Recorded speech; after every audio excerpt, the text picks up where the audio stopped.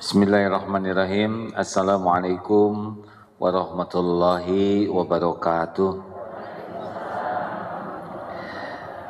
Alhamdulillahi rabbil alamin. Alhamdulillahilladzi anzala sakinah fi qulubil mu'minin liyajdadu imanan ma'a imanihim. Allahumma salli wa sallim wa barik ala Muhammadin wa ala alihi wa ashabihi ajma'in. Alhamdulillah ya Allah, wahai yang maha menatap, berkahi majlis ini. Engkaulah yang mengumpulkan kami, engkau pula yang kuasa membulak balik hati kami. Ya Allah, diri kami sepenuhnya ada dalam genggamanmu. Ampuni seluruh dosa kami ya Allah. Hapuskan sekelam apa pun masa lalu kami Jadikan pertemuan ini penguat keyakinan kami kepadamu ya Allah. Menjadi penguat amal soleh kami di jalanmu. Ya Allah luruskan niat kami. Bimbing kami dengan ilmu yang manfaat. Mudahkan kami memahami. Mudahkan kami mengamalkan dengan ikhlas dan istiqomah. Wahai Allah yang maha baik. Lindungi majelis ini dari niat yang salah dari ilmu yang salah, dari amal yang tidak engkau terima. Taqabbal minna ya karim, innaka antas sami'ul alim. Amin ya rabbal alamin. Alhamdulillah. Terima kasih Bapak Ibu yang baik. Kajian kita yang terakhir 223 kalau tidak salah, kan? Masih ingat? Sudah hilang bukunya ya? Huh?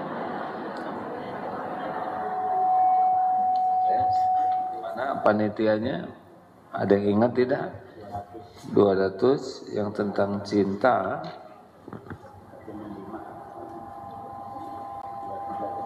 dua tiga tiga. Sebentar.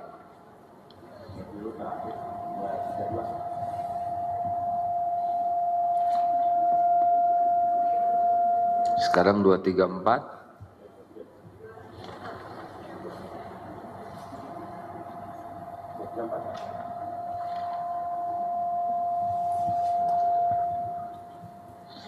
ah atau terlalu tinggi kita agak lebih sederhanakan aja pertemuan kali ini ya. Di takut di absen yang nomor dua tahun setengah yang lalu. Udah mah bukunya hilang. Sebagian malah ada yang sudah pulang mungkin jamaah ini ya. Alhamdulillah. Baik, kalau begitu kita membahas tentang judul yang diberikan sementara. Nanti akan ditambahkan hadirin. Uh, Ibu Bapak, tidak ada kejadian yang kebetulan dan sia-sia. Semua yang terjadi hanya bisa terjadi dengan izin Allah. Biiznillah. Dan setiap yang terjadi pasti ada hikmahnya. Dan setiap yang terjadi pasti membawa kebaikan kalau disikapi dengan tepat. Jadi hidup ini adalah ujian. Hidup ini setiap waktu adalah ujian. Baik kesenangan, kesusahan, dua-duanya ujian. Ujian mana yang lebih berat? Dipuji atau dicaci? Tolong dijawab hadirin, jangan bikin emosi ya. Ujian mana yang lebih berat dipuji atau dicaci? Dipuji atau dicaci? Dua-duanya berat, tapi ada yang lebih berat. Dipuji atau dicaci? Dipuji lebih berat. Betul? Nah, ibu, bapak sukanya dipuji atau dicaci? Jadi memang kita ini sukanya ujian yang berat. Coba mana yang lebih berat itu, ujian itu adalah yang lebih membuat kita mudah lupa kepada Allah. Itu yang namanya berat. Contoh naik pesawat. Lancar, nyaman. Jarang yang zikir.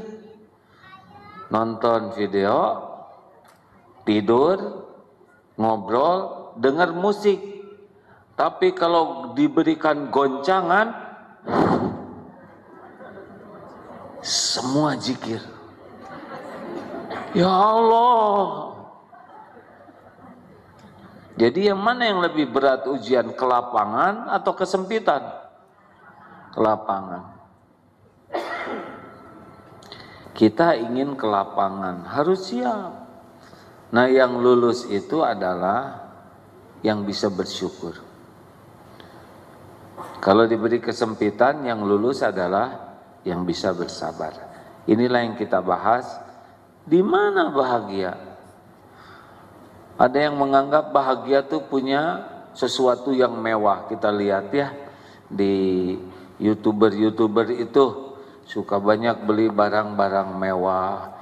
Saya sarankan uh, bapak ibu nggak usah ingin, ya karena nggak akan kebeli ya. Kalaupun kebeli stres, makin mahal, makin mewah, kalau tidak hati-hati makin nyiksa. Karena hati kita akan lengket. Nah lengketnya hati dengan sesuatu selain Allah, itulah penderitaan. Ada yang menganggap punya jabatan, pangkat, bisa bahagia.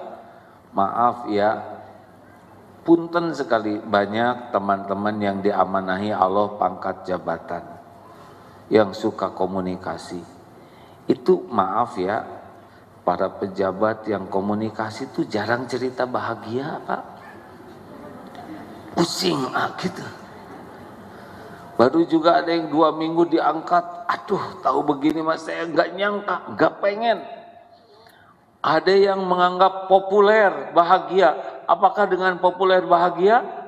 Oh tidak, ada yang menganggap dengan banyaknya follower, subscriber bahagia?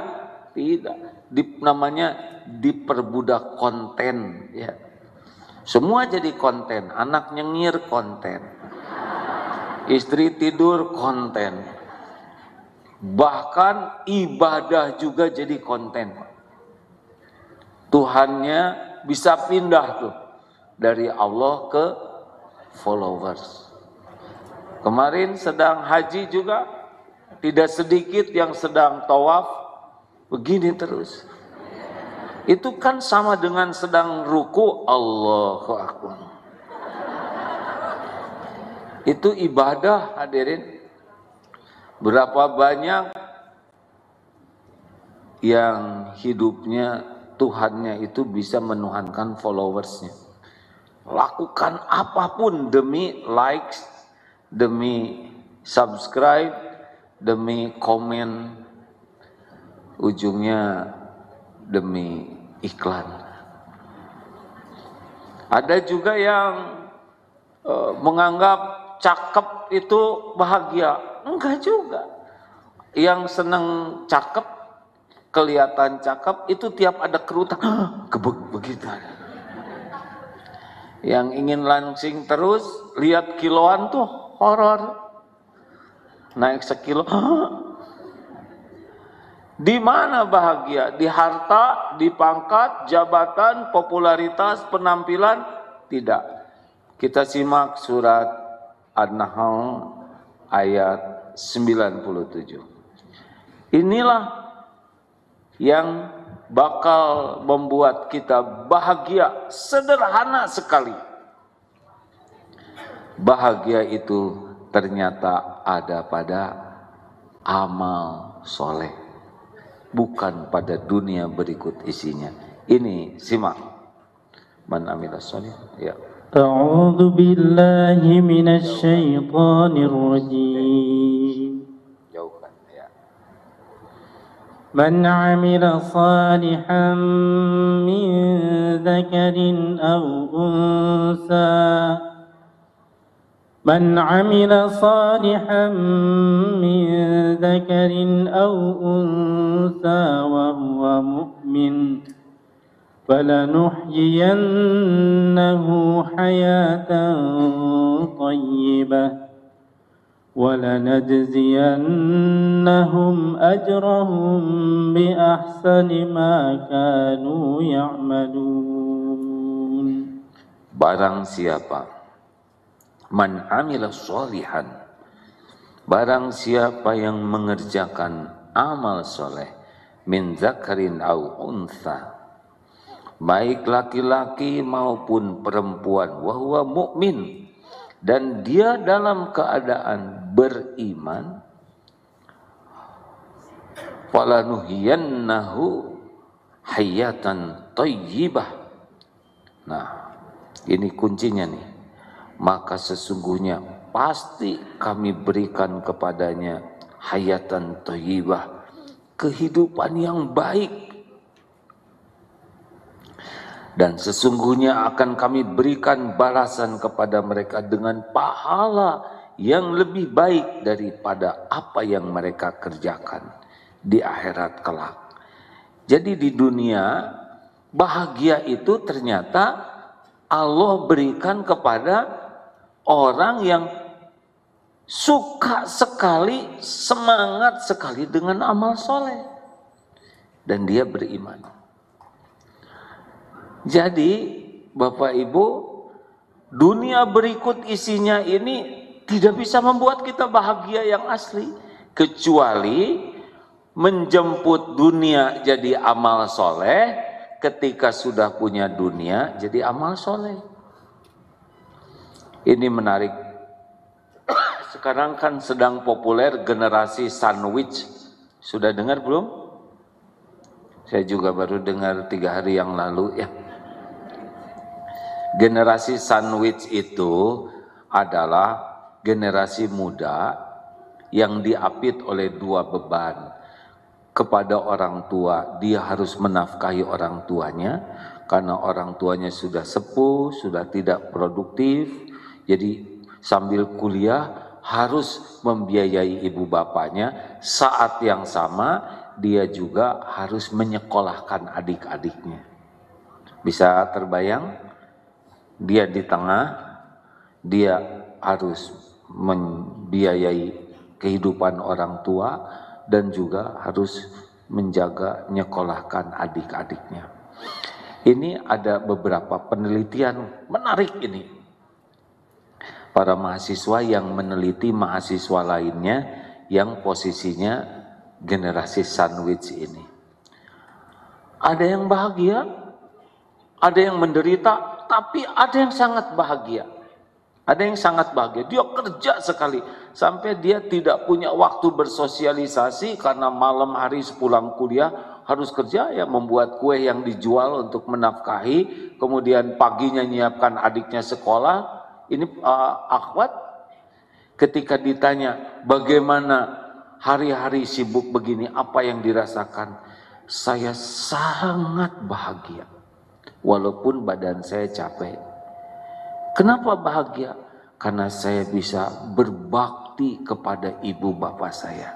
Di kala yang lain mungkin masih senang main saya jadi jalan bisa menjadi raja rezeki dan saya bahagia karena adik-adik saya bisa sekolah syariatnya lewat tetesan keringat saya. Dia membayangkan amal soleh yang luar biasa, letih hilang. Ada lagi seorang ibu dengan tiga anak yang memiliki kekhususan, difabel, uh, autis yang agak berat. Tiga, suaminya meninggal Ketika berdiskusi ibu dengan kondisi seperti ini, alhamdulillah wajah, tutur kata, nada sama. Kan suka ada yang tidak cocok ya. Alhamdulillah. Alhamdulillah. Ini kurang nyambung. Nah, kenapa beliau bersyukur? Alhamdulillah, AA, saya diberikan kesempatan oleh Allah dititipi tiga anak yang spesial ini. Saya bersyukur Allah memilih saya untuk bisa mendampingi tiga ciptaannya ini. Mudah-mudahan ini yang jadi bekal amal soleh saya. Teng, nggak bebantu. Tiap dihina orang, hai ini penggugur dosa saya. Sulit mencari ini dan itu, pasti kesulitan ini jadi pahala. Termasuk ada yang nikah dengan yang lumpuh. Ketika ditanya, kenapa memilih suami yang lumpuh? Ya mudah-mudahan ini jadi amal soleh saya. Mengurus suami yang lumpuh dan Allah mengurus dunia akhirat saya. Begitu. Ada juga nih, ndud, oges mungkin sekarang sedang menyimak juga. Lumpuh, puluhan tahun berbaring. Kakaknya Teh Isoh lumpuh, adiknya ndud lumpuh. Pertama wafat ibunya, kemudian ayahnya. Tapi tenang saja. Kenapa? Ya mudah-mudahan sakit ini jadi amal soleh saya. Kalau orang lain dapat pahala dari banyak amal, mudah-mudahan saya dapat pahala dari ridho terhadap takdir ini. Jadi maaf hadirin sekalian, bahagia itu tidak jauh. Bahagia itu hanya pada amal soleh. Amal soleh itu syaratnya cuma dua. Satu, maksudnya ini nanya hadirin satu, kalau satu, satu. Dua, dua. Satu apa? Ini emang jangkung begini ya? Kaki saya jadi ngatung, ini harus jadi amal soleh. Gini nggak kena, gini jengke. Nggak apa-apa perkara kecil, nggak apa-apa udah rezekinya begini. Gini nggak apa-apa, nggak kurang nggak kurang sopan ya. Udah, tidak rumit urusan ya yang rumit mah yang sekarang sedang heboh ya. Lanjut. Jadi fokus kita tuh dua saja kalau ingin bahagia minimal ya. Satu meluruskan niat karena syarat amal soleh itu niatnya ikhlas lillahi ta'ala. Yang kedua caranya benar Innallaha la yanzuru ila suwarikum wa amwalikum walakin yanzuru ila kulubikum wa a'malikum. Sesungguhnya Allah tidak lihat casing, tidak lihat harta, rupa, tapi Allah melihat hati dan amal. Jadi kalau kita kurang bahagia, pasti itu hatinya kurang ikhlas dan amalnya kurang benar. Jadi Allah kan pemilik pemilik segala-galanya. Allah mengetahui Allah Subhanahu wa taala tahu hati kita. Walaqad khalaqnal insana wa na'lamu ma tuwaswisu bihi nafsu. Dan kami menciptakan insan dan kami mengetahui Allah ya. Mengetahui apa yang dibisikkan di dalam hati. Wa asiru qaulakum awijharubi innahu alimum bidati sudur. Dan rahasiakanlah kata-katamu atau engkau zaharkan sesungguhnya Allah tahu isi hati. Surat barusan Al-Mulk ayat 13. Surat Ghafir ayat 19. Ya'lamu kha'inatal a'yun wa ma tukhfis sudur. Allah tahu khianat mata dan apa yang disembunyikan di dalam hati. Jadi, Bu, Pak, orang yang menderita adalah orang yang sibuk ingin penilaian orang. Orang yang bahagia adalah orang yang sibuk ingin penilaian Allah. Kalau ingin penilaian orang, kita akan sibuk sekali dengan casing. Kalau ingin penilaian Allah, kita sibuk dua hal tadi, hati dan amal. Apakah kita nggak boleh membagus-bagus casing? Boleh. Asal bisa membuat hatinya bersih dan jadi amal. Gitu. Da casing Allah yang membagikan, bukan pilihan kita. Saya tidak milih ini. Jadi seperti ini. Coklat, tinggi segini, hidung begini. Ini bukan pilihan saya. Udah di lauh mahfud, udah ditulis. Agim, wajahnya bekal begini, beginilah kulit begini, tinggi begini, rambut begini, usia eh, sekian uban tumbuh. Udah, udah tertulis lah. Gak ada yang tidak tertulis. Daun jatuh saja tertulis. Masa saya nggak ada tertulis? Huh? Tinggal jadi amal atau tidak. Kodarullahnya casing saya ditakdirkan ya begini. Jadi kata orang jadi kiai katanya ya. Beri saya sendiri kurang yakin ini. Kenapa pakai sorban? Karena ada sorban tadi di sana ceritanya pakai sorban ini menghormati hadirin ya. Sekarang saya ke sini pakai kaos sepak bola gitu kan tidak adab ya. Nah, ini casing sudah sudah Allah tetapkan. Enggak nyangka loh, benar-benar saya tidak nyangka. Beda dengan Ustadz Edi ya. Ustadz Edi kan kuliahnya nyambung, mesantren terus, pantas beliau jadi kiai betulan. Saya gimana? Tinggal ujiannya apakah takdir ini bisa membersihkan hati atau jadi ujub, takabur, dengki dan sebagainya dan bisa jadi amal soleh atau tidak. Itu saja yang bisa bikin bahagia atau tidak. Halo? Makanya selalu harus mewaspadai niat di hati. Karena itu kunci bahagia atau tidak. Ini uh, tes yang sudah pernah dites tiga tahun yang lalu ya. Bu. Jawab. Ya saya sebetulnya tidak boleh berharap ya tapi kalau nanya nggak dijawab teh gimana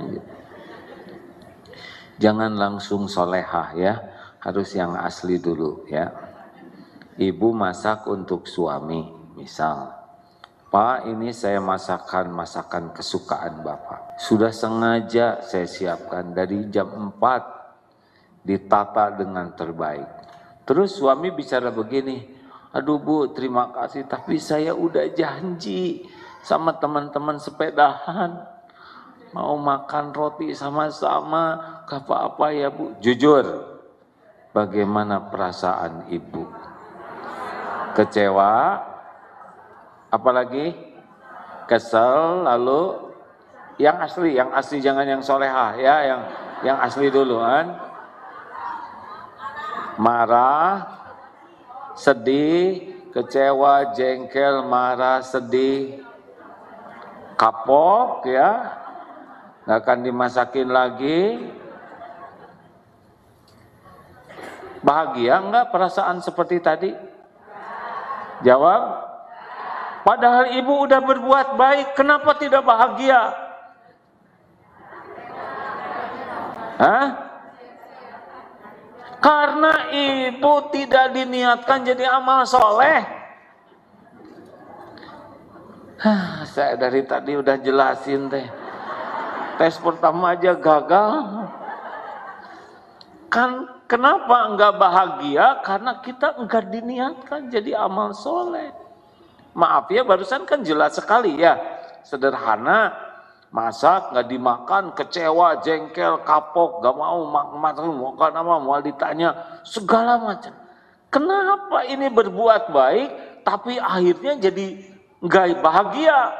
Karena ibu lebih mengharapkan pengakuan, penghargaan dari suami daripada mengharapkan diterima Allah sebagai amal soleh. Jadi harusnya bagaimana? Bu maaf ya, saya udah keburu janji. Masya Allah Pak, janji harus ditepati. Silahkan. Jangan risau, ini masak saya tiap hari, tapi janji ke teman itu luar biasa. Bapak pergi, ibu nggak kecewa? Gak. Karena Allah udah melihat saya bangun dari jam 4, Allah udah tahu saya masak, Allah menyaksikan semua ini untuk membahagiakan suami. Tapi kalau Allah ingin menambah amal pahala saya, maka Bapak tidak memakannya, saya tambah satu lagi pahalanya, ridho kepada takdir. Gak apa-apa. Bapak bisa memenuhi janji, saya ikut bahagia. Masya Allah ibu, ibu teh bercahaya gini. Gitu. Ngerti tidak hadirin? Pengen tidak seperti itu? Pengen apa? Pengen gak dimakan? Perkaranya sederhana, cuma nggak dimakan, betul tidak? Hari-hari juga dimakan, betul? Kenapa ketika Allah akan melipat gandakan pahala, ketika Allah akan melatih keikhlasan, ketika Allah akan memberikan pahala ridho, ketika Allah memberi kesempatan mendukung suami menepati janji, kenapa kehilangan amal soleh? Enggak tiap hari kan begitu? Coba apa tiap hari? Pak saya sudah maaf Bu hari ini saya sudah janji naik sepeda besoknya. Pak udah siap? Maaf Bu saya sudah janji naik sepeda. Mustahil ya kan? Sebulan tiap hari alasannya sama nggak mungkin. Sesekali saja. Halo? Mikir waduh. Benar juga ya kenapa nggak saya makan aja? Ya makan aja tidak usah dongkol, terlalu kecil, terlalu remeh untuk membuat kita dongkol, jengkel, dan hari-hari kita tidak nyaman. Betul? Hayatan toibah itu yang bagaimana? Kaya raya atau segala ada, perkara kekayaan sudah beres pembagian. Hadirin, ini nggak usah ngebanding-banding ya Seibu sebapak aja beda-beda rezekinya. Ibu sama, bapak sama, anak lima, hakul yakin beda-beda. Apalagi semajelis talim, nggak usah ngebanding-banding. Ada yang biasa-biasa jelebet, ujuk-ujuk kaya, ya nggak? Ada yang bapak ibunya kaya, jeletut jadi miskin, ada. Itu mah semua ladang amal. Dengar ya, Jangan pernah kagum kepada dunia karena dunia milik Allah sepenuhnya. Allah titipkan giliran, kadang diberi, kadang ditahan, kadang diambil. Nah orang yang hayatan toyibah itu adalah orang yang diberi kemampuan oleh Allah menyikapi berbagai episode. Ketika mencarinya oleh Allah dibimbing niat dan caranya benar. Ketika mendapatkan sesuatu oleh Allah diberi rasa syukur. Ini sebetulnya yang lebih bagus daripada rezekinya itu adalah syukur. Yang paling bagus waktu kerja itu adalah berkah niat dan caranya benar. Nanti ketika dikasih dia syukur Alhamdulillah. Berapapun Allah memberi dia diberi syukur itu adalah kebahagiaan. Karena ada yang diberi tapi tidak punya syukur, nggak bahagia. Ini ada handphone. Handphone apa ini? Ini handphone 11. Nah, sekarang udah keluar yang 13. Itu. Ini ada mobil, Bu. Produk terbaru. Oh, warnanya apa? Ini pink begini. Jengkel. Oh, serius, Bu. Orang yang tidak punya rasa syukur mau diberi dunia berikut isinya, dia nggak akan pernah bahagia. Karena syuk, bahagia itu bukan pada pemberian dunianya. Bahagia itu pada syukurnya. Jelas hadirin sekalian? Kenapa ada yang diceritakan dulu? E, pernah masih ingat tidak cerita yang dulu? Cerita yang mana? Diingat-ingat. Ibu ingat kan? Ceritakan.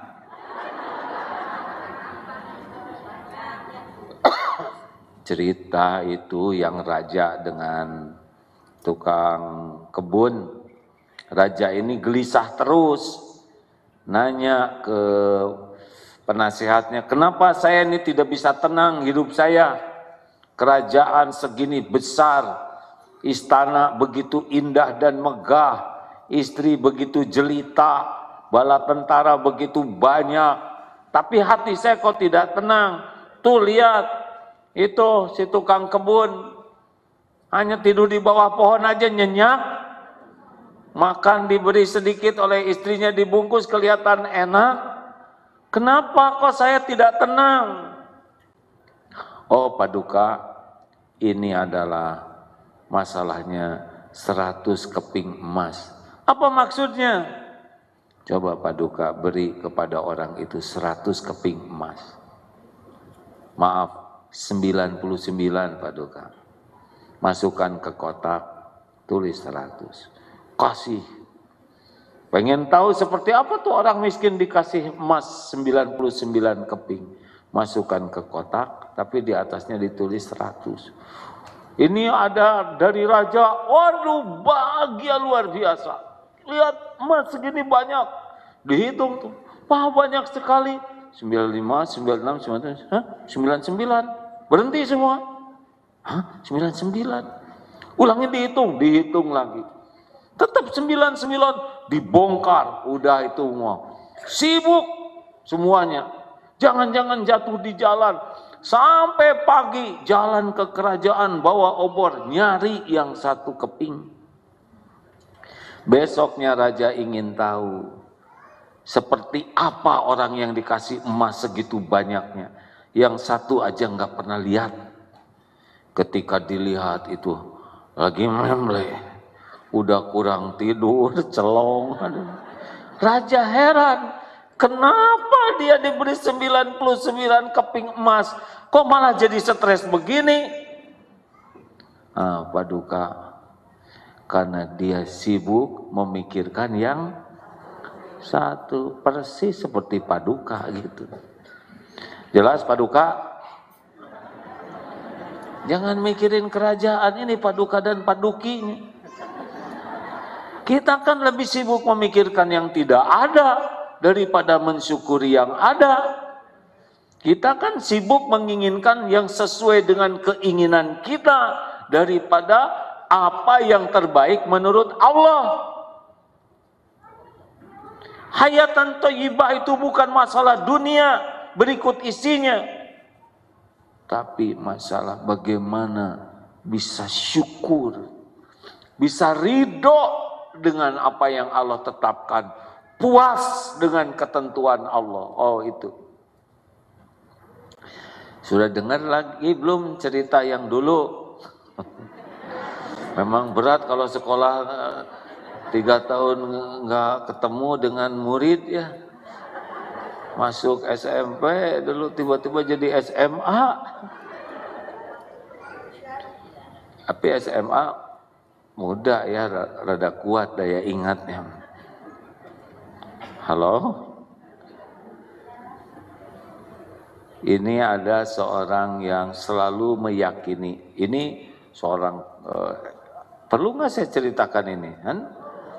Orang yang selalu bersyukur pokoknya kalau ada apa-apa selalu ini yang terbaik dari Allah yang terbaik adalah apa yang Allah pilih untukmu Akhirnya suatu saat sang raja ini, ini kisah ya, patah tuh jarinya tuh, potong satu.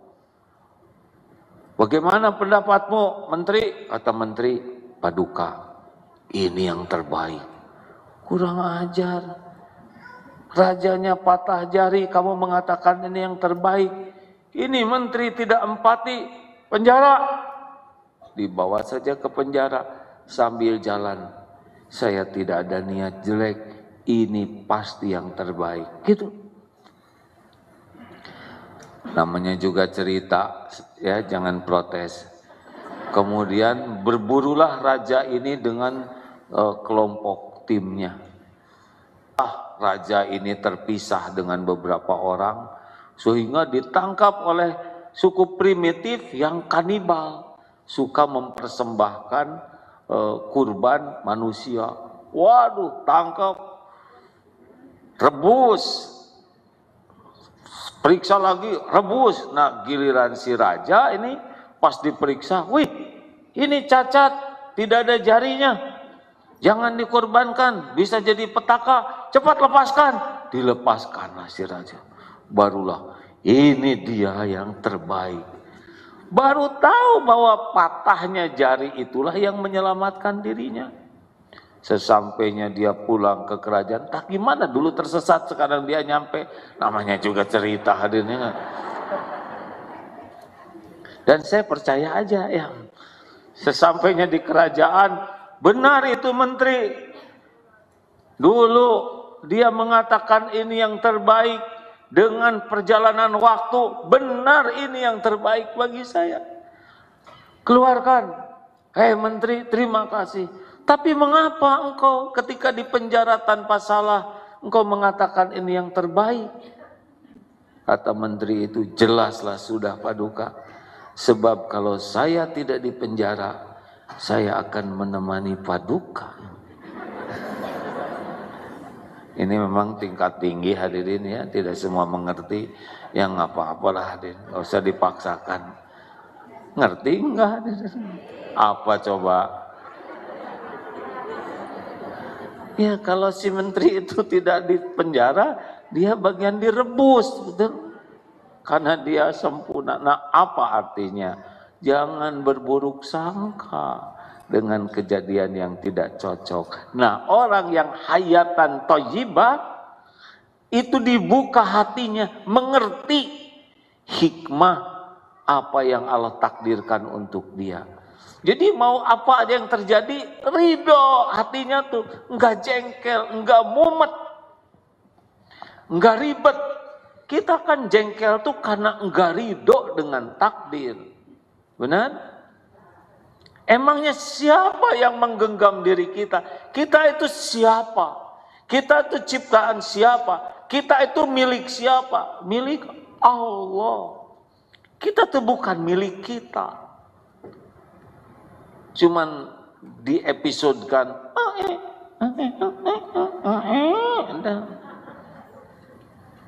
beberapa tahun yang lalu ini masih lucu-lucu ya kan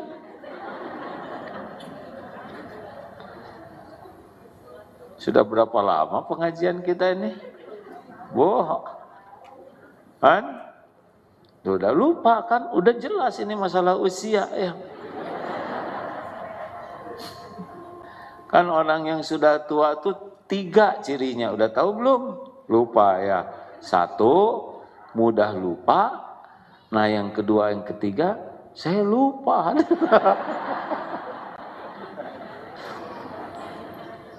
Lanjut.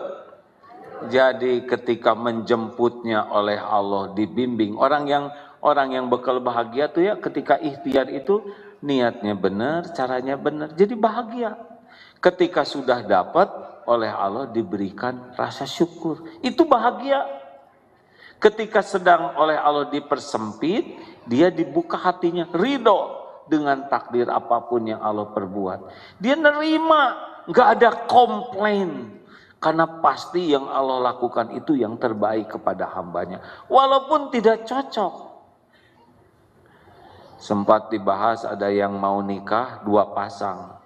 Nih, tolong perhatikan bisi ibu, bapak ada yang mengalami ini, ini mau nikah, ini mau nikah, dua pasang.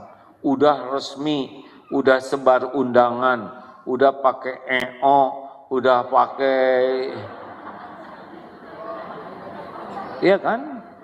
Udah pakai uh, hidangan, udah segala siap, tinggal tank hari haknya, kodarullah ini batal nikah, ini batal nikah. Dua-duanya, dua pasang.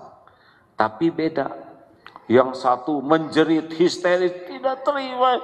Gak mungkin. Wah ngebentur-bentur keningnya ke tembok, ngejerit, ngejenggut, ngerobek. Bapaknya juga marah-marah, ibunya marah-marah. Tapi yang satu lagi sujud syukur. Mempelainya, ibunya, bapaknya sujud syukur. Hei kenapa? Kejadiannya sama, batal nikah, satu sujud syukur, satu histeris. Ayo. Kira-kira apa yang menyebabkan seperti ini? Nih, kan? Gak berani jawab, takut kejadian katanya. Gini,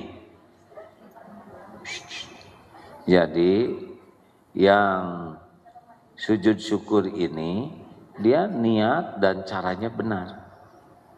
Ya Allah, sekiranya ini baik, mudahkan jodohkan jadi kebaikan dunia, jadikan kebaikan akhirat. Kalau tidak baik, jangan. Hanya engkau lah yang maha tahu segala awal dan akhir. Ini enggak pakai, ini sudah kebayangnya. Dan mungkin tingkat luka di hati itu biasanya perih itu karena dosa. Ya, mungkin sebelum nikah tuh pacarannya ya nggak tahu seperti apa. Dan Allah pasti menyaksikan kemelekatan hati kepada calonnya itu itu melampaui kemelekatan hati ke Allah. Kalau ini ke Allah semuanya. Kalau ini ke pernikahan rencana dia tidak ada Allahnya. Makanya ketika batal pasti remuk di sini. Jelas, jelas hadirin sekalian. Halo. Ya begitulah. Makanya orang yang hayatan toyibah itu dia niat mau nikah jadi amal soleh. Kalau enggak jadi ya enggak apa-apa. Tidak harus kok apa yang kita inginkan terjadi semuanya. Benar? Wah ya berat nih. Takut kejadian. Ya sudah minta tolong ke Allah supaya jangan kejadian. Sama mau melamar kerja. Ada yang diniatkan, ya Allah saya ingin melamar kerja. Sekiranya pekerjaan ini membuat saya dekat denganmu. Membuat hidup saya mendapat rezeki yang halal barokah. Manfaat dunia akhirat terima. Kalau tidak jangan. Enggak diterima, enggak ada sengsaranya. Kenapa enggak sengsara? Padahal kamu udah ke sana sini. Ya, karena Allah mencatat semua jadi amal perginya jadi amal, motokopi jadi amal, ongkos jadi amal, nggak ada yang disia-siakan oleh Allah. Kenapa? Karena dia niatnya jadi amal soleh. Nah yang remuk redam itu yang memang bersandarnya bukan ke Allah. Seakan-akan ini pekerjaan terbaik. Enggak, enggak. Baik menurut kita belum tentu baik menurut Allah Subhanahu wa taala. Jelaskah hadirin? Jadi orang-orang yang hayatan toibah ketika nanti diuji dia ridho, ketika diambil dia dia ridho dan dia bersabar, mengalir saja. Pasti hidup ini ada ujian-ujiannya, jalanin saja. Dan enggak dijalanin juga pasti terjadi, pasti dijalanin, ya kan? Nah orang-orang yang hayatan toibah ingin apa pun jadi amal niatnya harus lurus dan yang kita lakukan benar. Indonesia ini sekarang sedang oleh Allah kita ini sedang diberikan banyak ilmu lewat kejadian terutama yang kita simak di media, betul? Ada yang titik-titik, nembak titik-titik, yang matinya titik-titik gitu ya. Ya simak saja seperti apa? Bagaimana Allah, ini semua terjadi dengan izin Allah. Apa sih rahasia di balik semua ini? Banyak pelajarannya, benar? Ada juga itu anaknya titik-titik melakukan titik-titik kepada titik-titik. Ternyata walaupun orang tuanya titik-titik, anaknya bisa koma ya. Oh iya iya iya iya. Tidak jaminan. Oh ujian itu bisa datang dari mana aja. Oh banyak. Ini ternyata heboh dengan ini. Yang ini sekretarisnya ini banyak. Bapak ingin jangan pak. Jangan ingin sekretaris ya. Nggak kuat bayar pak. Udah oh ternyata begini, oh begitu. Nggak usah banyak komentar Pelajaran apa yang Allah berikan dari semua kejadian ini? Satu, misalkan, oh pelajaran tentang, oh Rasulullah tuh kan dari awal sebelum jadi nabi diberi gelar Al-Amin. Jadi sebelum memiliki apa pun, track record yang paling penting adalah jujur, terpercaya. Rasul tuh ganteng, tapi nggak disebut si ganteng. Pintar, tidak disebut si brilian. Keren, gagah, tidak sebut si perkasa. Tapi disebutnya Al-Amin. Seorang pemuda yang sangat terpercaya kalau bicara pasti benar, kalau berjanji pasti ditepati, kalau diberi amanah tidak pernah hianat. Jaminan mutu itu. Baru usia 40 diberikan eh, gelar kenabian, diberi wahyu. Awalnya itu ternyata jujur dulu dan beliau pun mengisyaratkan alaikum bisidqi hendaklah kalian jujur benar karena dari jujur yahdi ilal birri. Mengantarkan kepada kebaikan-kebaikan. Tolong ini garisnya ya. Jujur dulu baru bisa baik. Dari baik yahdi ilal jannah. Mengantarkan kepada sorga. Jadi garisnya orang jadi baik itu adalah dari jujur. Kalau orang tidak jujur, yahdi ilal fujur. Kalau orang kadib, pendusta, pembohong, mengantarkan kepada kejahatan, keburukan-keburukan, dan fujur yahdi ilanar, mengantarkan kepada neraka. Makanya maaf ya Bapak Ibu,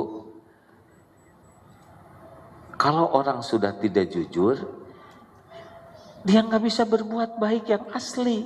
Kalaupun berbuat baik, tipu-tipu untuk menyembunyikan ketidakjujurannya. Halo? Jelaskah? Maaf ya, pernah dulu di sebuah acara TV, gimana kalau bangsa ini ingin maju? Awalnya lihat jujur atau enggak.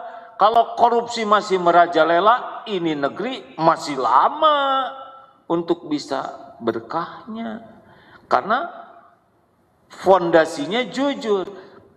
Negara yang kurang iman atau akidahnya tidak sama, tetapi menjunjung kejujuran, itu dunianya diberikan kebaikan oleh Allah. Dunia ya. Halo?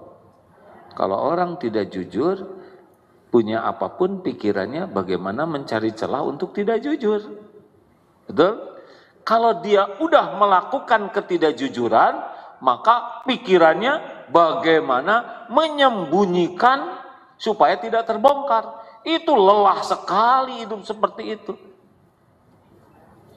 Halo?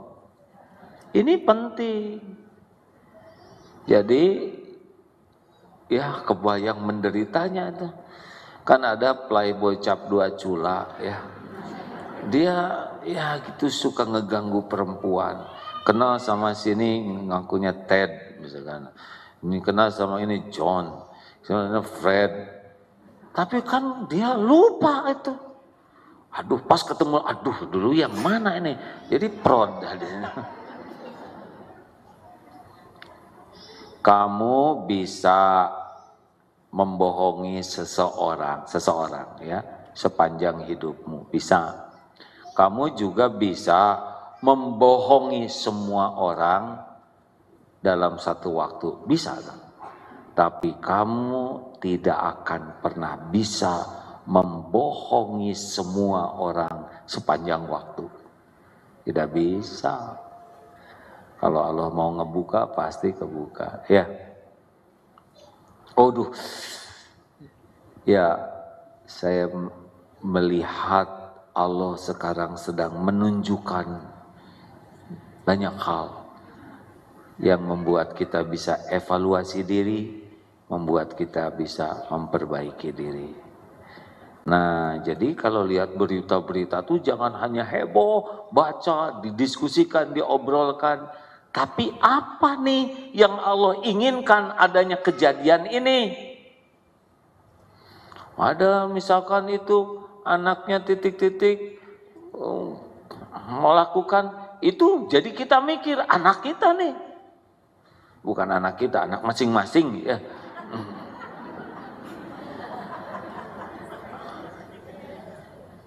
Telah terbongkar itu sedang melakukan titik-titik dia tertangkap basah karena mencuri ikan.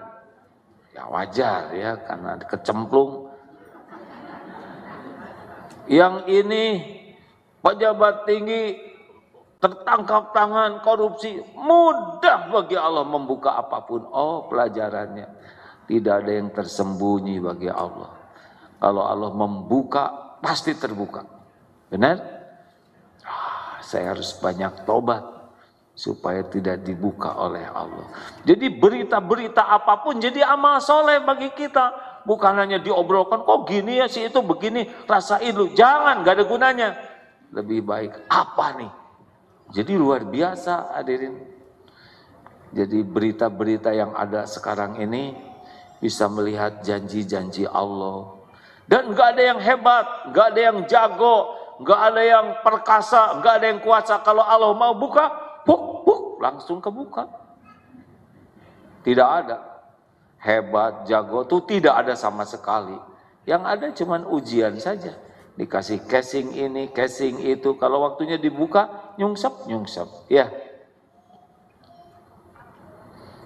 Jadi kesimpulannya, kalau ingin bahagia menghadapi berita pun, jadikan amal soleh. Ya. Ngedidik anak, amal soleh. Tidak tidak selalu ngedidik anak-anak langsung jadi berbakti. Yang penting mendidik anak itu jadi amal soleh. Pernah dengar Nabi Yakub siapa? Nabi Yakub ya. Kenapa jadi Nabi Daud? Nabi Yakub orang tuanya siapa? Orang tua anak-anaknya. Salah satu anaknya bernama Yusuf. Ini Nabi hadirin. Masya Allah, kekasih Allah. Saya kira anak-anak kita nggak ada yang senakal kakaknya Yusuf, ya kan? Waduh, itu nakal sekali. Adiknya dikecemplungin ke sumur.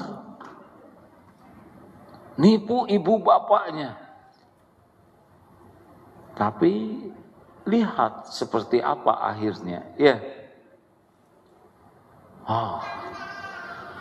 Kalau kebaikan itu akan tetap kebaikan. Makanya kalau Bapak Ibu diuji anaknya belum soleh, tetap saja terus jadi orang tua yang baik. Benar? Karena tidak harus sekarang sekaligus. Mungkin tahun depan, mungkin ketika sudah ada umur, mungkin ketika kita meninggal nanti semuanya disempurnakan balasannya oleh Allah. Ini bagi yang punya suami, udahlah jangan terlalu cinta sama suami lah ya. Apalagi model-model ini, maaf ya. Bu, ibu, ini bagi yang ada suami, Gak usah terlalu cinta sama suami itu. Cinta boleh, tapi terlalu cinta mau ngapain? Suami itu, suami itu apa coba? Hah? Suami itu apa? Jauh, lelaki pasti. Eh. Suami itu sebagai apa coba bu? Hah? amanah boleh apalagi suami itu sebagai ini yang sudah lama nikah coba ingin tahu ya suami itu sebagai apa buat ibuan kepala rumah tangga Han? teman apa pendamping hidup makhluk hidup ya oh sumber anak-anak Apa bu? Sumber bermanja? Sumber duit belanja? Bapak, suami sebagai beban hidup.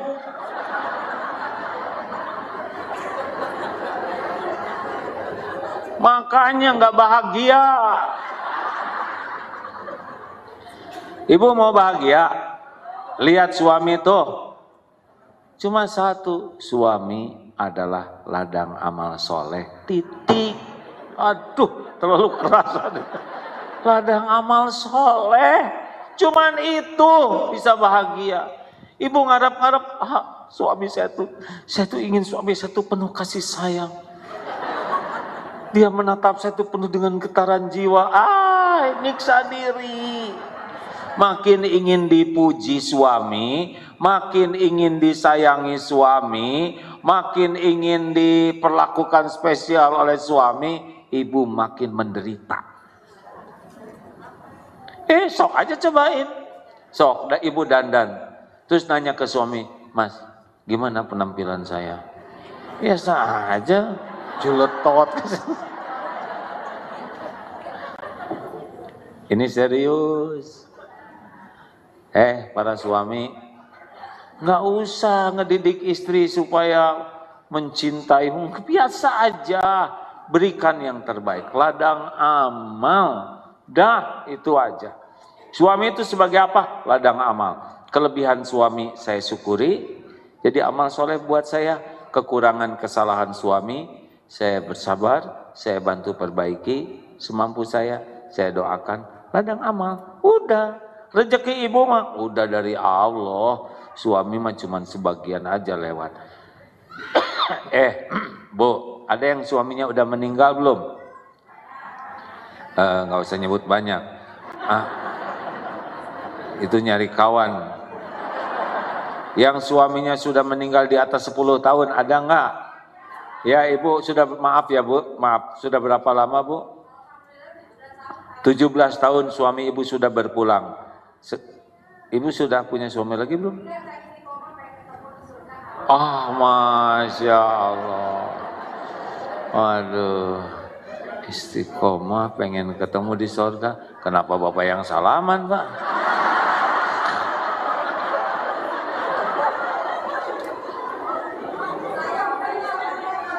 Boleh saya tanya, Bu?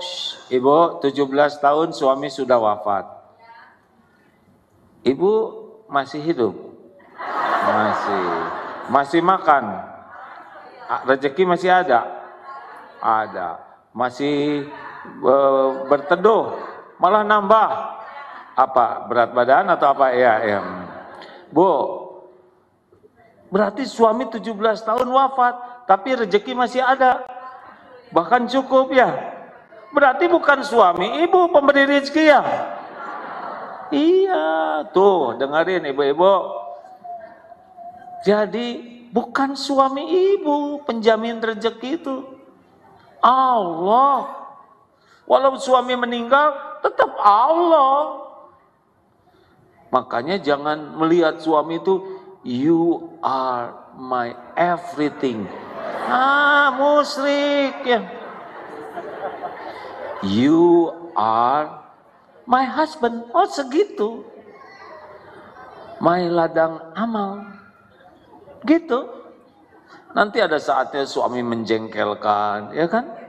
Itu pahala sabar buat ibu. Ada saatnya suami ngadak-ngadak baik, berarti ada maunya, ya kan?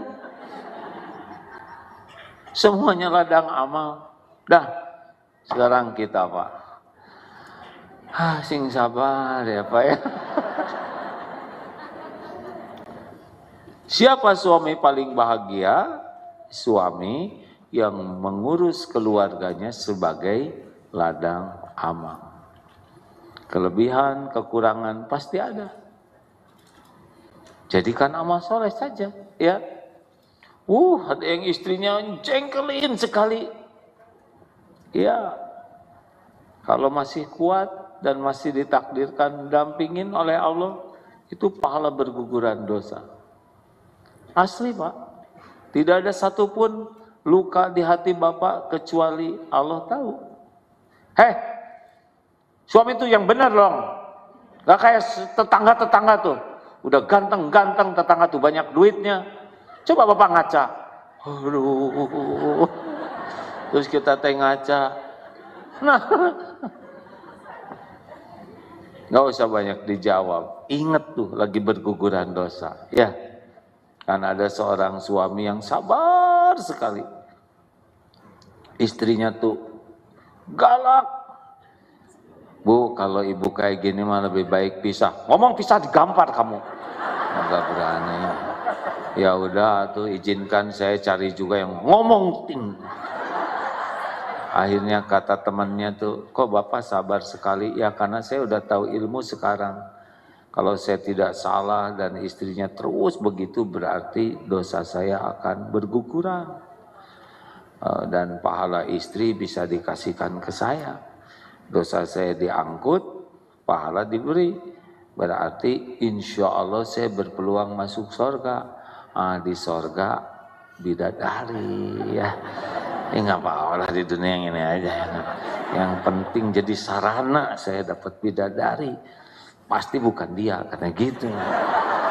Ini juga tidak baik hadirin yang kalau gitu memanfaatkan, tetap aja ingin kebaikan. Nah, sama ngurus anak adalah ladang amal. Dagang itu amal soleh. Dagang itu bukan perkara uang dan barang.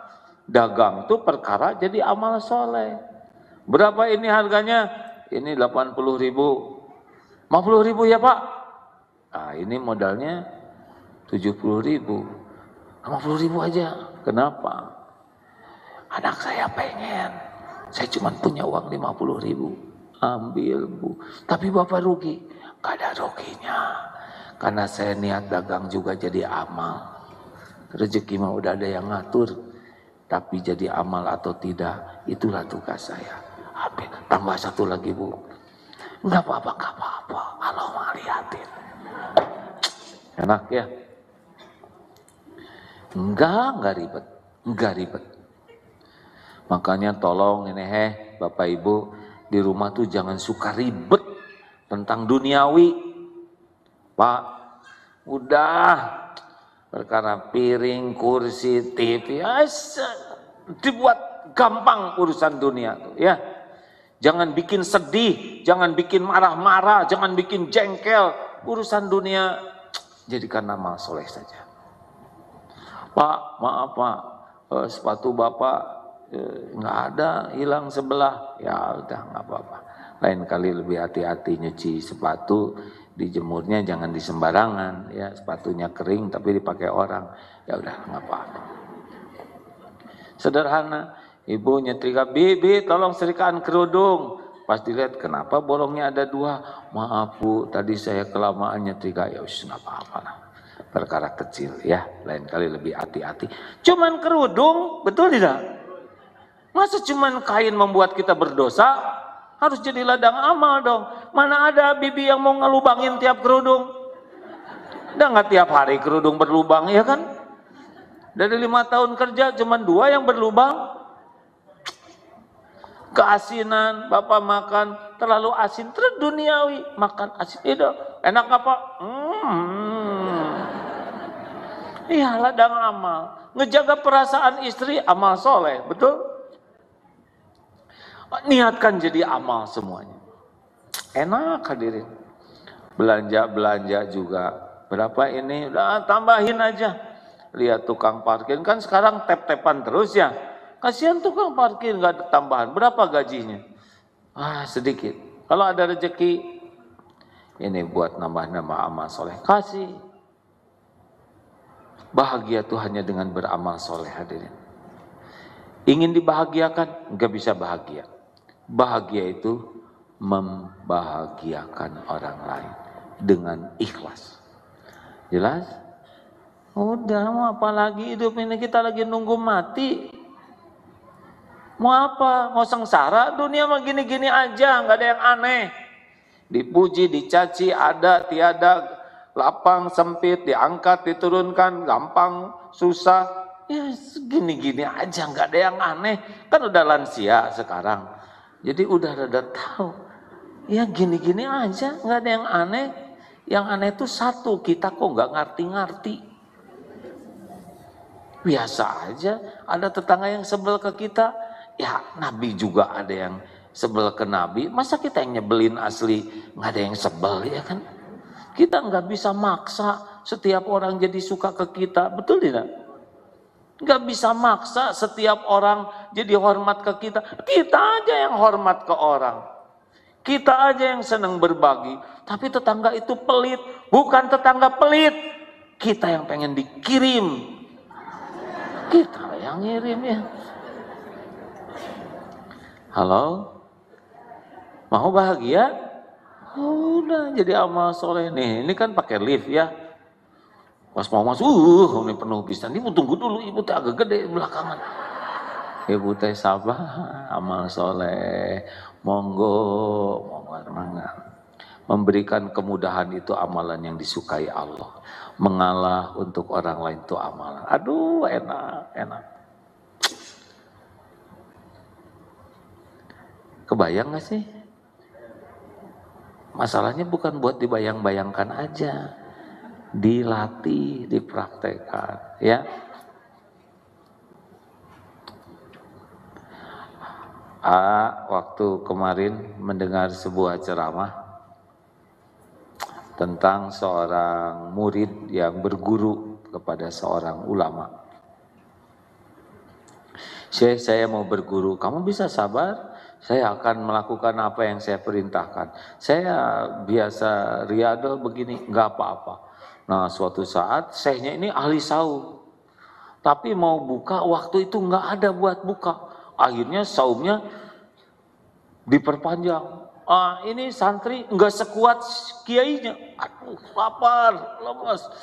Sampai akhirnya dia ke mana? Nah, dia keluarlah dari masjid ke tetangga naik ke atap. Terus lihat ada dari atas, wah ini ada ada yang sedang ngerebus makanan aduh saya lupa makanan itu kentang atau terong ya atau apa namanya. Kemudian dia diam-diam turun. Tapi pas mau makan baru digigit dia langsung tidak ini haram. Ini bukan hak saya. Baru nggak jadi ditelan. Dia takut ya Allah, saya tidak mau memakan yang haram. Dibuanglah. Saya takut engkau murka. Ampun saya. Dia naik lagi, balik lagi ke masjid. Nah, di masjidnya ternyata ke kiai itu lagi ada tamu ibu-ibu. Ternyata ibu-ibu muda ini baru selesai masa idah. Suaminya wafat, jadi meninggal masa idah. Dan minta ke kiai ini dicarikan jodoh. Nah, karena datang santri ini, ya udah Mau kamu nikah sama ini, akhwat ini? Waduh, Syekh, saya ini boro-boro menafkahi istri, buat diri sendiri saja saya tidak punya. Saya nggak bisa apa, nggak apa-apa. Nikah nanti kamu akan ada rezekinya. Ini saya punya tabungan ini buat maharnya, kasih saja. Dan perempuannya juga nerima karena ini yang menentukan sehnya. Akhirnya nikahlah. Sesudah nikah, diajaklah ke rumah. Karena wanita ini punya rumah. Pas masuk ke rumah, kaget. Karena ini rumah yang tadi saya naikin. Pas masuk ke sana, suamiku silakan, saya sudah ini siap masakan. Pas dilihat di masakannya, wah ini ada yang makan masakan ini. Oh, Padahal dia yang ngambil tadi. Apa yang dikatakan? Istriku sejujurnya saya tadi yang mengambil ke sini. Saya masuk ke rumah ini tanpa izin. Kemudian saya makan. Tapi saya takut kepada Allah. Sadar ini tidak halal. Maka saya buang. Tuh buangnya juga masih ada. Saya lempar ini sisanya. Apa kata istrinya? Tahu apa kata istrinya? Wahai suamiku, karena engkau takut sekali mengambil sesuatu dengan cara yang haram. Maka sekarang Allah memberikan kepadamu bukan hanya makanan ini jadi halal untukmu, pancinya juga jadi milikmu, rumah ini bahkan aku pun jadi milikmu. Ini luar biasa hadirin. Halo, ini tingkat tinggi. Bisa dipahami tidak hadirin? Betapa orang yang diuji oleh Allah berani menjauhi yang haram, Allah menggantinya tuh bukan hanya makanannya sepanci, juga pancinya, rumahnya, bahkan pemilik rumahnya dikasihkan. Udah pak, nggak usah banyak pikiran. Saya tahu pikiran bapak. Ah, saya harus datengin rumah yang mana ini? Si bapak meninggal gitu. Mau saya juga, ah. mau saya muntahkan aja dikit. Tapi bapak turun ke sana digebukin. Hadirin sekalian, ya segitulah. Ustadz mau menambahkan, silakan. Kesimpulan, latihan apa yang terpenting? Latihan tidak berharap dari makhluk. Ya, udah lakukan yang terbaik. Allah maha melihat cukup. Tidak usah orang lain harus tahu nggak. Mau dilihat mau nggak dilihat nggak ada masalah. Allah pasti lihat.